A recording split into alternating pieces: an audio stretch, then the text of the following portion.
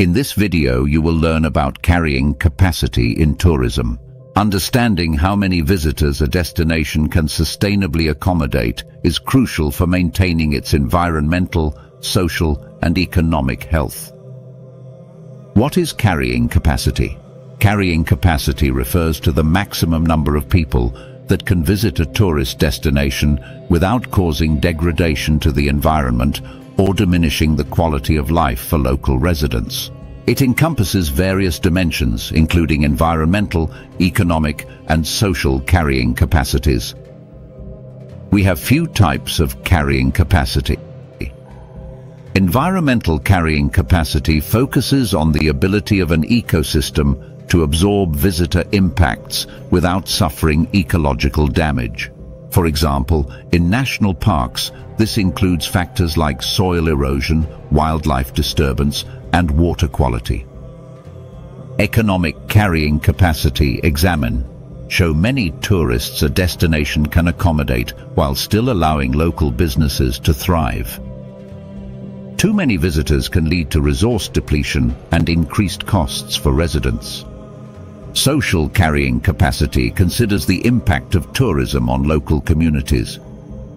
This includes factors such as overcrowding, cultural dilution, and the overall quality of life for residents. Here are some of the strategies to manage carrying capacity. Monitoring visitor numbers. Regularly tracking visitor statistics helps identify peak times and potential overuse. Implementing access controls. Limiting the number of visitors through permits or reservations can help maintain balance. Educating visitors.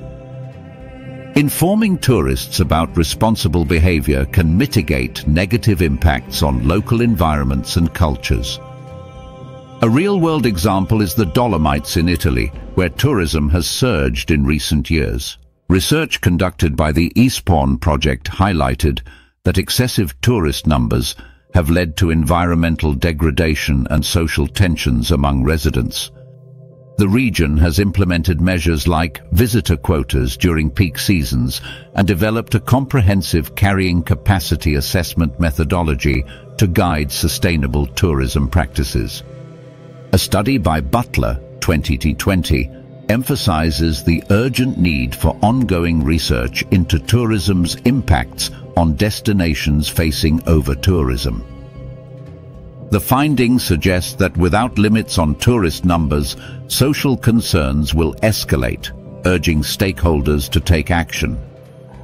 In conclusion, managing carrying capacity is essential for sustainable tourism development.